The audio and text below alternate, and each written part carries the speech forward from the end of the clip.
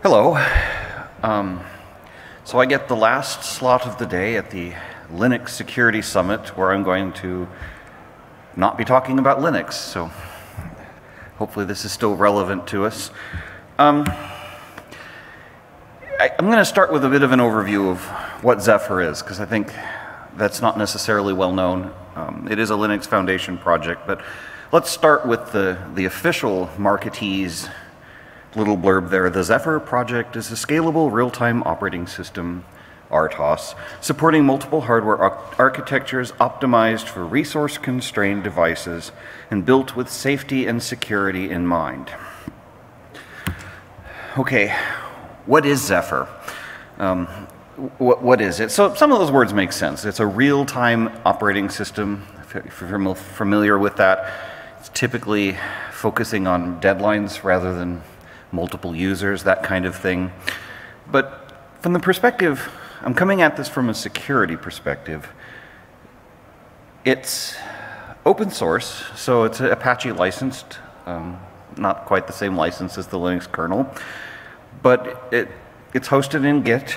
Um, we actually host it on GitHub. We work with the pull request model. There are maintainers, mailing lists, and lots of meetings. Um, we use uh, kconfig, device trees. Um, we used to use kbuild. Uh, that moved to k to CMake. Um, just to give you an idea, a little comparison here between the Zephyr project source tree and the Linux tree as of about an hour and a half ago. Um, there's a few more lines of code in the Linux kernel. It, it's a bit bigger. Um, unfortunately, no, there isn't actually any Haskell code in, in the Zephyr project. Um, there's a .hs file in there for some reason, which SLOCCount counts, but uh, you get the idea. It's a C project, it's open source. We try to, a lot of people came from the Linux world, and we've kind of brought a lot of the development mindset and methodology there. So to give you an idea though, it's a really busy project. Um, GitHub gives these nice statistics, the 107 authors, 764 commits, 907 commits to all branches, thousands of files, tens of thousands or 50,000 additions, 18,000, that's just last month. As a comparison, and I'm not sure how well GitHub does this because it's not doesn't use GitHub's model, but it still sees the same Git tree of the Linux kernel. You get actually pretty similar numbers out of that. Um, there's a lot more churn of the Zephyr code. There's a bunch of things where we're taking code and moving it into separate modules, and that's causing a lot of the, the changes and additions and deletions. But there's a lot happening with the code, is the idea.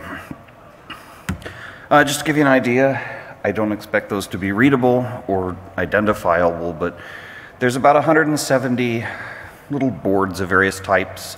Um, there's another exciting picture that was felt too marketese to me to include that was shoes and hard hats and other interesting things that are running Zephyr. But what I want to go over is what's different between the Linux kernel and Zephyr. I mean, another way to put this, this is a Linux Foundation project. Why are we even doing this? We already have the Linux kernel. Um, key differences, Zephyr is typically a single address space. Um, there's a thing called a memory protection unit. It's like an MMU light. Um, it doesn't do address remapping. The only thing you get out of it is protection. You can say this block, and it's usually really restrictive it might be a power of two alignment boundaries of that size of thing, and you get eight of them or 16 of them, depends on the, the controller. It's typically no dynamic code, so that has radical impact on the threat model. The, we're not running code that an arbitrary user on a machine runs. We're running code that somebody building a product wanted in that product at least we hopefully are running code. Um, turns out you really do need to count for arbitrary code running because there are bugs. Um, buffer overflows incoming data, that kind of thing. It still can be possible to run code, but it's still a different environment of how it's how it comes about and how it's run. Another really big difference is we tend to do a lot of things at compile time that would normally be dynamic on a Linux system. Um, how many threads do you have? Uh, what kind of devices do you have in your system? How much memory are you configured for? A lot of that would be a compile time choice. Uh, the idea is to get the code small. I mean, think about what we're targeting here are microcontrollers where you think of hundreds of kilobytes of code and maybe tens or hundreds of kilobytes of RAM, and that's it. So it's not a dynamic system. It's, well, I could show my age. It's the kind of computer that I started programming on, except really, really tiny and cost 50 cents. So with all that aside of what Zephyr is, let's talk about security. And just a little bit of background, I, um, I work at Linaro. I've been there just under four years, um, hired onto the security working group team. And for about three years, I've been having this focus on IoT. I came from actual Linux kernel security before that. And just this past, guess it was about six months ago, I was elected as the security architect for the Zephyr project. It was an exciting election to the end. I ran and no one else did. So it was as long as someone voted, I would have won. But I want to go over what are we doing about security in this project? Um, Linux gets a lot of focus. Greg gives his talks about CVEs. What are we doing in this project for security? And so I'm going to break time down into real, real easy divisions of past, present, future, what we've done, what we're doing, and what are our kind of grandiose plans. So now we get slides with lots of words on them. Um, so big thing is memory protection. And this is fairly new. Most RTOSes kind of don't do this. They assume you have a simple address space and everything just runs. And we started out, well, we have this memory unit, this memory protection unit. What can we do? The obvious thing is to look at what Linux does. You have user space you have kernel space. These processors typically have kind of the same division of, a protected privileged mode and a non-privileged mode. Um, if you look, each processor uses different words for them just to help keep everything confusing. So we added this memory protection. Um, turns out it's not, I mean, it's, quite, it's actually quite useful. There's a lot of things it protects for. But as I mentioned before, with that user model of what code is running on the system, it's not necessarily protecting against the right things. Uh, turns out it's pretty easy to have a lot of things on the wrong side of that boundary. Um, you can get a system where a small amount of application code is running in user mode, and then most of your system and most of the code that's vulnerable is still running in privileged mode. So Despite the fact we have this done, there's a lot of work to do for memory protection. Um, a lot of that is taking, in order to move something to the outside of this boundary, you need to come up with system calls. And it's not POSIX really here, it's a system call specific for drivers, pieces of drivers. And we have to figure out what those are. So we've done that. It's kind of a past thing, but there's a lot more to do. So I wanted to give that to make sure that it sounds like we've done practical things because a lot of these points, they sound like things you would give at a talk at a conference instead of things you'd actually do to improve security. And it's because they are, but they're also, they are important things, but they don't immediately directly translate into code. So the rest of these things we've done, we have a security subcommittee. Um, this meets bi-weekly, and that little star means there's more slides coming. Uh, we've created documentation on secure coding practices. Um, if you've ever tried to do that, it turns out it's really hard to do. Um, what it really boils down to is, and it's actually worded pretty much this way, is you need to have people on your team that know about security and know what to look for in code. So we've created this documentation. It's public. It's on the, the zephyrproject.org website. There's a little security button. I'm going to talk a little bit in a minute about what we've done with our Git repositories to try to focus a little bit on security as well as safety. Then some of the more possibly controversial things, uh, we've registered with MITRE as a CVE numbering authority. And as you can imagine, these are some interesting meetings we get to go to to discuss what are a bunch of rules that essentially amount to how you allocate integers. To uh, when does a particular vulnerability become one CVE or does it become multiple CVEs? How do they correspond with patches? Um, to try to get some homogeneity and to try to make the database useful. Um, we've, it's been about a year now that we've got this. We've, I think we've done about four official CVEs. That doesn't mean we haven't fixed bugs. We've, we do fix bugs. Um, things that have been reported against previously Jira, now GitHub. There's, when I last checked, 6,514 issues that have been closed as fixed. Um, no real easy notion of whether those are all security fixes. Sometimes that's hard to know. Uh, we joked at our last security meeting, somebody said, well, we just need something to tell us what's a security bug.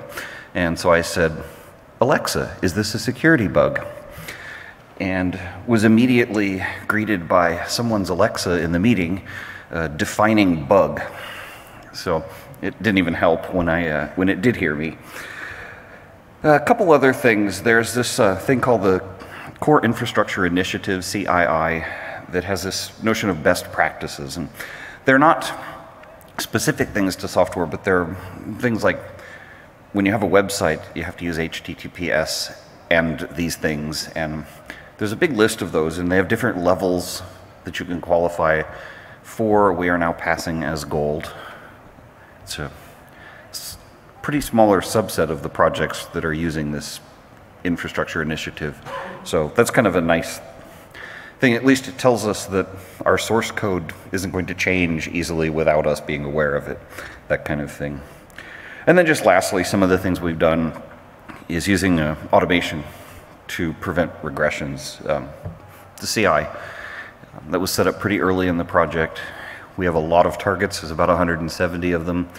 We build them and we make sure that all of the sample applications, all the tests, not everything can be run. We don't have all of this hardware, but at least we can build it and make sure it keeps building. All right, so what is this subcommittee? Um, it's defined by the charter when Zephyr was created. The Zephyr project was created at the Linux Foundation. Um, Zephyr is a project you that companies join. Uh, the, the funds are used to run the company, and there's different levels of contribution that people can, or companies can contribute to. And the way it's defined is each platinum member gets a seat, and then we can invite other people by invitation from that. And then there's two roles. There's a security chair, which is elected by the rest of the subcommittee, and they're basically responsible for running the meetings, for taking notes, for making sure stuff happens. And then there's the security architect, that's me, that's basically defined to be responsible for overall project security. The, the idea is significant changes that are at least theoretically supposed to affect security are supposed to go through the security architect before they're made to the project. So, what do we do about our repositories? I'm sure most people are familiar with the long-term stable release of the Linux kernel, and we do something quite similar to this. Uh, we've we've had two of, or no, I think we've only had one of these. Um, I'd have to think back on that one. We have zero, one or two of these uh, long-term stable releases. It's a fairly recent thing for us to have them. They've been in planning for quite some time. And we have this other branch that we call auditable, which is kind of like the long-term stable, but more so. So the idea of LTS is a little different than it might be in a lot of other projects. I mean, it's product focused, uh, it's current code with the latest security updates. Interestingly, we want to bring in compatibility with new hardware. Um, Zephyr, people add boards very frequently to Zephyr, and usually they want to use them. fairly quickly. And so we don't really have a pro prohibition against using brand new code from a new board in this long-term stable release. So those are generally those patches are generally pulled back into the the new hard the long-term stable release. They tend to be isolated changes to just a group of files. And the main thing, this this code is more tested. Um, the cycle of development is extended, and it's supposed to be stable for the long term. It's what you would choose to bring into a product. If you're going to build an IoT device, a sensor, a, a shoe, any of these interesting things that people come up with for devices, this is a good starting point for that. That's is the idea. Um, it's a it's feature based, focusing on hardening the functionality of what's there. It's not intended to be cutting edge to bring in the new latest stuff. Now, that's the one in the middle. This one on the, the right, this auditable, is a branch off of the long-term stable release. And significantly, it is a subset of the code. And the idea here is there's a lot of types of certification. Uh, many of them involve safety, but there are a handful of these that involve uh, security issues.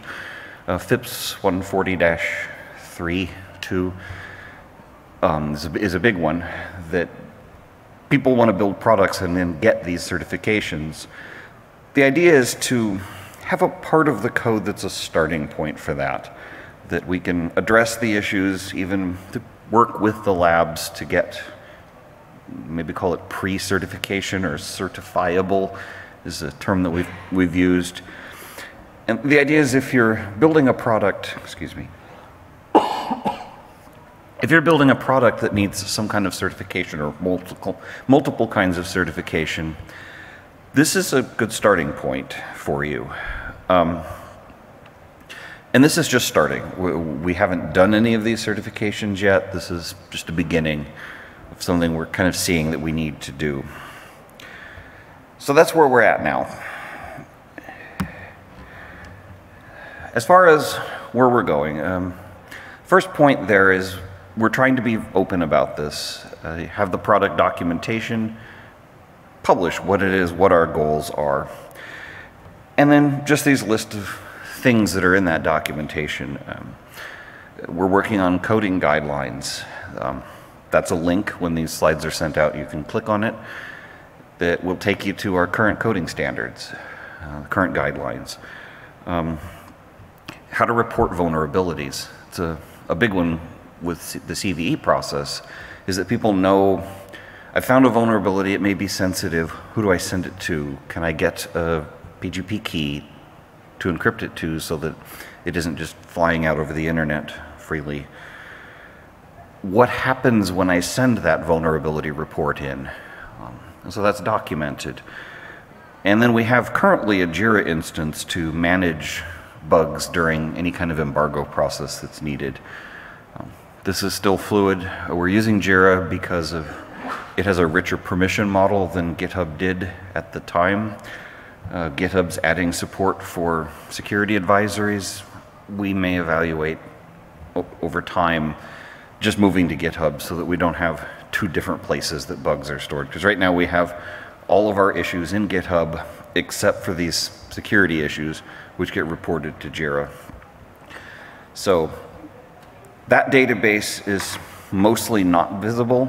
Uh, once something has become published, uh, so once release notes refer to it, the link will work. Uh, we change the permissions on it and you can go look at that particular issue to find out information about it. All right, so I talked about the coding guideline. Um, Linux kernel has a, a, document that I believe Linus originally wrote, which how do you write code for the kernel. Um, we started with this. Uh, one of the first things we did with the Zephyr project is go through and make it look like Linux code. Um, some of that was using tabs to indent and proper spacing on different things. But when, especially when you get to safety certification, but security certifications look at these a little bit, Um, there's some documents about uh, MISRA-C 2012, uh, which has an amendment, um, a couple of these other documents to use as a reference. And the thing about these, these documents is they're kind of a mixture of some really good ideas and what were they thinking. There's, um, so what we're trying to do is incorporate these in, but we realize you can't just say, oh, well, all your code must comply with this document that's not publicly available. You, you must comply, good luck. So we are looking into tooling that can selectively enforce these different kind of requirements. And, you know, these vary from basic things like you can't have global variables that aren't used to things. It's about being able to, when you do security sensitive code, to audit that code, all of it, and then typically involves looking at the assembly output of the compiler and making sure the compiler did the right thing. And so there's a lot of stuff in there about writing code that fits with that. But there's also things in there like no dynamic memory allocation at all. So if you're building something with Zephyr that uses TCP, or uses, not TCP, well, that has I allocation too, um, uses TLS, uh, there's allocation in all of, as far as I know, the TLS libraries, mbed TLS that we use. So we, that's why we have that auditable code base, that you can have a smaller subset of the code that's able to comply with these things. So a security guide, a coding guideline doesn't magically make all of your code better, but it's, it's a starting point. It, it, it gives some things that we can look to that you shouldn't do this in your code and a tool that will flag when you do that so that we can at least analyze whether, well, should you be able to do that and do we need to write up an exception and that kind of thing.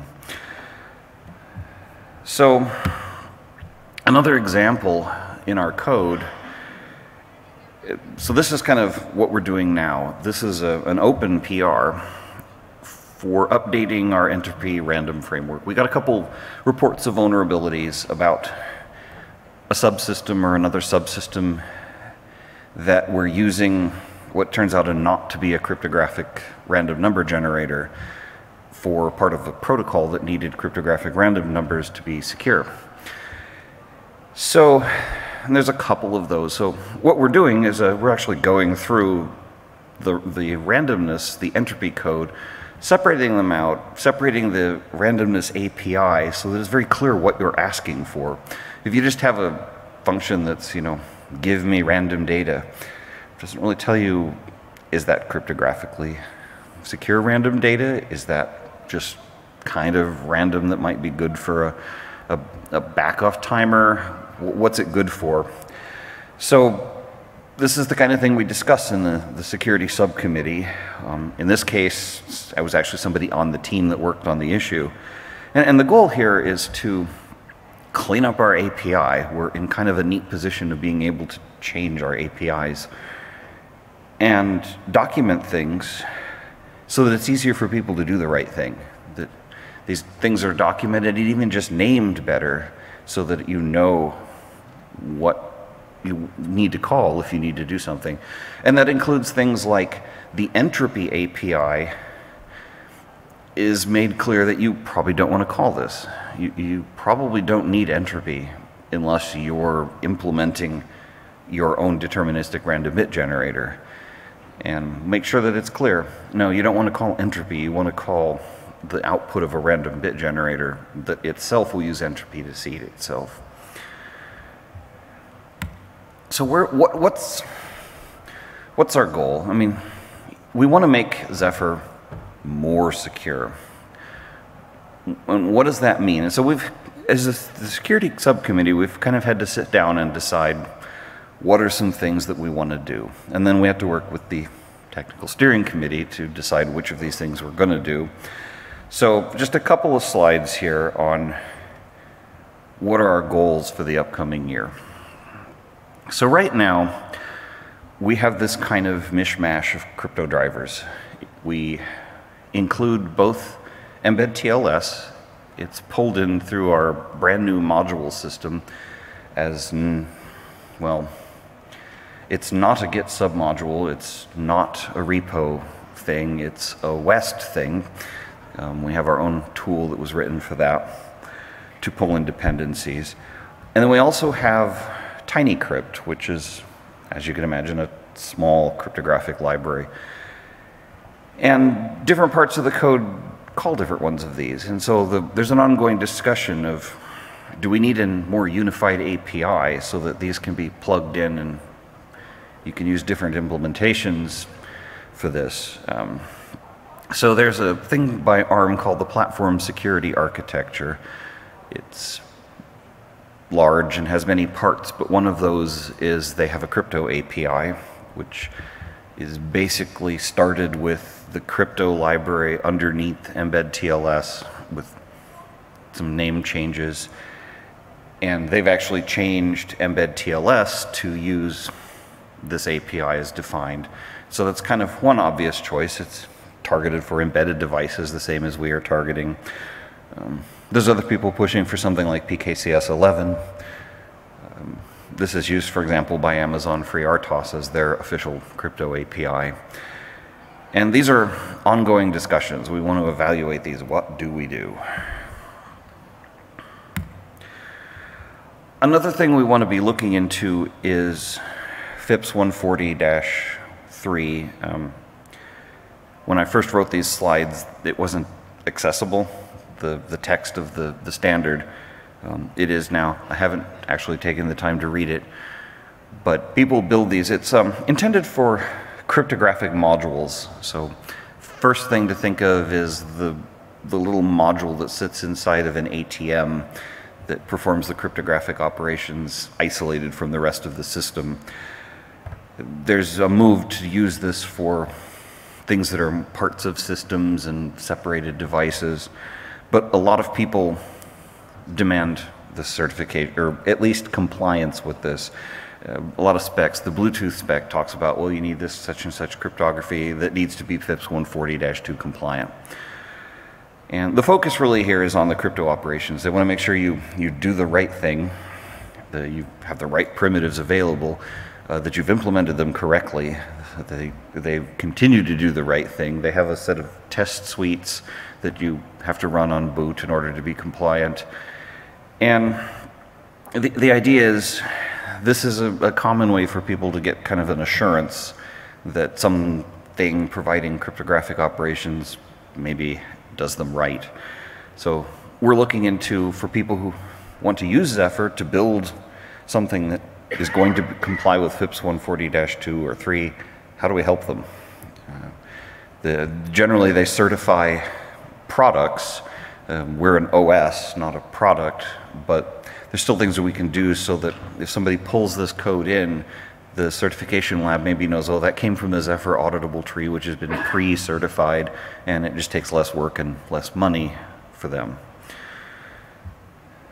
So another big issue um, is with secure boot. Uh, we've been working on this for a couple of years now with Zephyr. Um, there's a, a bootloader called MCUboot, and caveat, I'm one of the maintainers of that project, that started out as the bootloader for One, one OS Mynewt.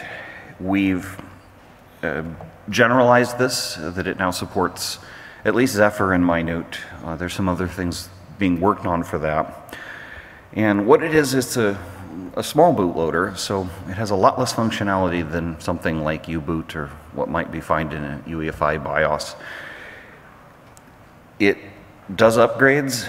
It can revert these upgrades, check signatures against public keys that are kept in ROM in the device. Um, and, and as an example, the Trusted Firmware project for M-class architectures, the microcontrollers, is using MCUboot as its bootloader. And for Zephyr, we can build with this bootloader, we can use it. Uh, things that need to be done is, it's not a clean setup right now to build an application that uses the bootloader. You kind of have to go build that yourself and assemble the things and try to make the image out of it. We also don't have a real good upgrade story.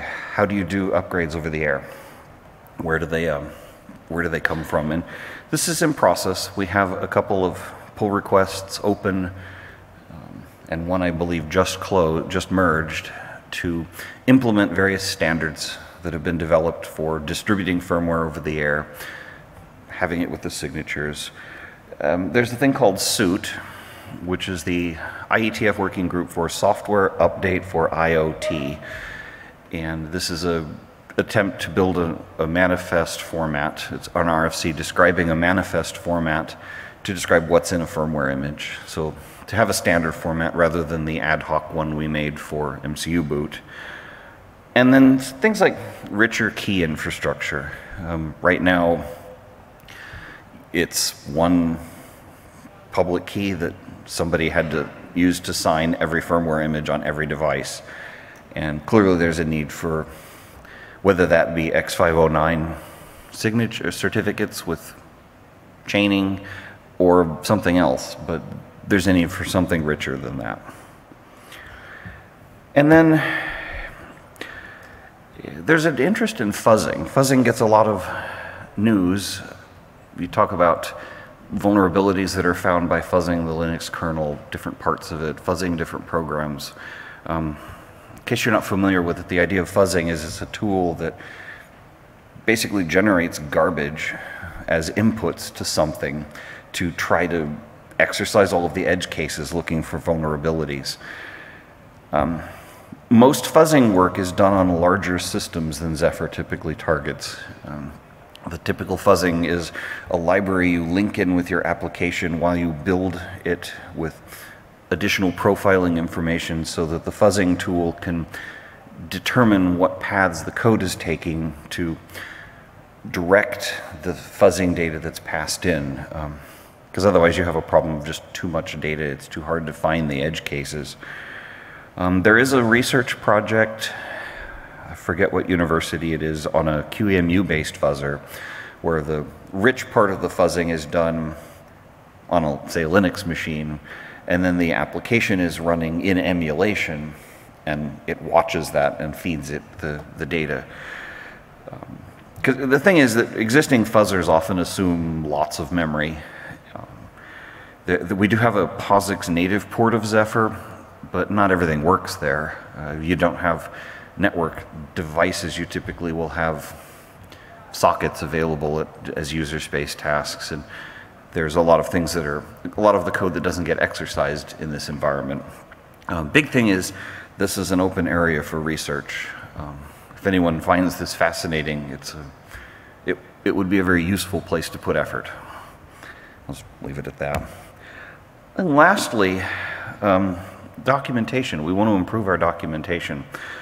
Um, we, well, I, I wrote some threat models for Zephyr a couple years back.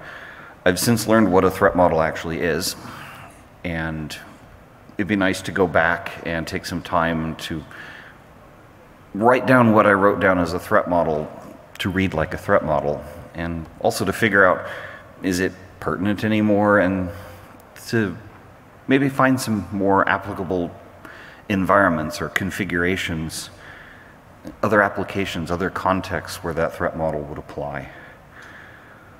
So that's all I have for the, the Zephyr security update. Um, I guess I got a couple minutes if anyone has any questions.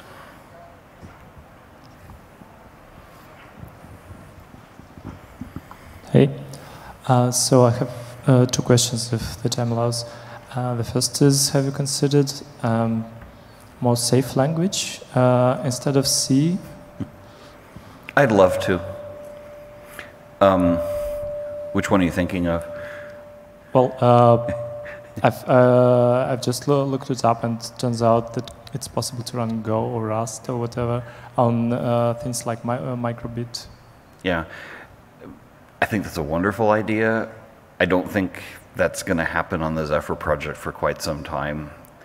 Uh, the, the projects doing the safe languages in embedded targets are pretty immature right now, but it's definitely a great direction to go. I don't know how long it's going to be before we want to move there. I, mean, there's kind of a joke on the the Reddit channel for Rust that people say, oh, we'll rewrite it in Rust. And that's not usually a good answer for something. Um, but there's definitely a place for new applications to at least start by looking at that and see if we can get these tools to a state where that's useful. So. I see. Yeah, thanks. So, uh, and uh, since you're stuck with C, um, what is your testing strategy, and do you have any tools like ASAN? So, one of the difficulties is that there are such constrained devices that this code runs in. We do, so we have some static analysis that we're running right now, which can detect some cases of buffer overflows, memory usage issues, that kind of thing. A lot of it is we test a lot. We, we build all of the code, we run it, um, we hope we find the things, but no, there's a lot of need for that, for something like that. Um, the challenges of how do you do that in a device that has 100 kilobytes of RAM? You know, what do you do with, you know, we've added memory protection as a, that's a, a significant thing. Can we partition things more fine grained so that things that shouldn't be handing data, accessing data, don't, and that kind of thing. But if people have, if you have ideas, that would be really helpful too. Thank you.